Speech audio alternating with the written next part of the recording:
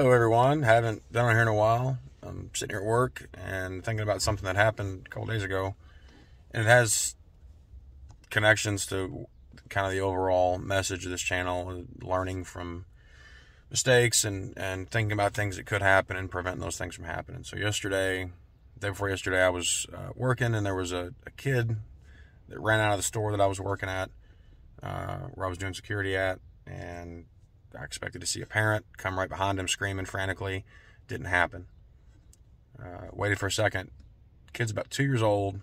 Runs across the uh, the main uh, passage in the front of the building uh, where cars go through, and they routinely go through there about 60 or 70 miles an hour um, through a parking lot.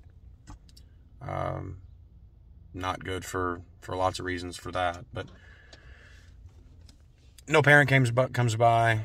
Um, I walked out there. There was another person out there that saw the same thing and said, "Did you just see that?" And I said, "Yeah." And I kind of went after the kid. He ran behind a car and was playing peekaboo. And I walked over to him and kind of motioned for him to come toward me to get him back in the store. And he he did. He came in the store. Didn't really come to me, but just kind of blew past me. Once he got in the store, he uh, ran in there and ran past a bunch of people, uh, kind of free freewheeling all of it and then he ran to an aisle, several aisles interior in the store, and stopped at a cart with a woman there, and that was the mother.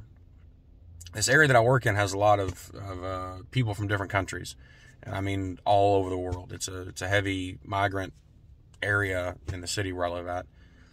And I went up to her and said, you know, do you know where your son was at? He was outside. He ran past me, ran out in the parking lot that could have been dangerous. And she looked at me and said, no English.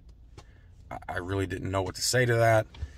I felt like, you know, it's not really an excuse. That's not, it's not. And, and, you know, she was looking at, at things on the shelf versus worried about where a kid was in this area. This area is pretty close to uh, the same area where several years ago there was an individual that lured a four year old uh, child. He was a convicted sex offender.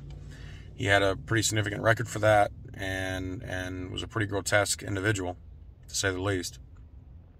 He lured this kid and gave him alcohol for whatever reason, and then did uh, unspeakable things to him and ended up killing him. And his body was found uh, in a trash pile.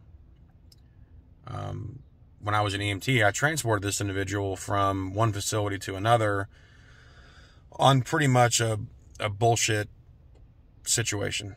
He really didn't need to go to the hospital, but we were there. We went down there. We knew he was there the entire day, and we ended up getting the call to take him when he was discharged from the one place to go to another place.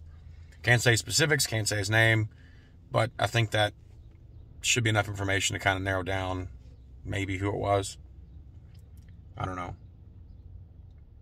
But when I was looking at her and this kid that ran out, I mean, he could have gotten grabbed, he could have been hit by a car, which would have been tragic. But um, I thought back to, to, to those events and other situations that I've seen where kids were injured. And a lot of it, a lot of it is preventable, I think. It can be prevented. People just choose not to, and they don't do the things they need to do.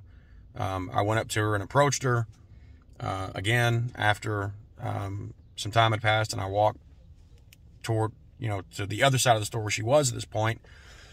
and um, the same thing was going on. The kid was just running around the store, just not really getting any kind of supervision like he should from his parent.